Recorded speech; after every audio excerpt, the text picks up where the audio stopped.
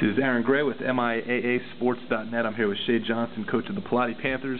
They came in today to Glen Glenelg Country. Obviously, got a big lead, but you guys fell. It was 70 to 60. So if you can, coach, talk about the team's performance overall. Um, well, you know, we, we came out strong. We know that Glen Glenelg is a good team. Um, you know, we've scouted them several times. Uh, they have a lot of big guys. They can shoot it. They're a very good team.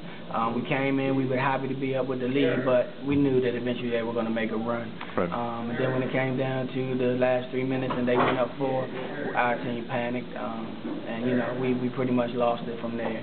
Um, but, you know, we get a chance to go play them again on Wednesday and hopefully right. we can take care of business. What did what did this game do as far as the standings? I know both teams came in fairly Um, close. Well, we were both tied for first. That put us in second place. And, Okay. You know, as long as we can take care of business until we get to Wednesday, we can win some games, and we'll have a chance to tie it up again, hopefully. Okay, sounds good. And then um, Mr. DeShields, obviously, huge effort. Yeah. Third quarter was he was a monster. I think he finished with a game high 35 points. Talk about just what he's been doing this year for you guys. Oh, I mean, that's he's a monster. Right. Just, you know, flat out. You know, he's he's a, a good basketball player and is getting better every day. He he has a will to want to win. Um, you know, worked hard in practice. And I mean, he just he was great tonight.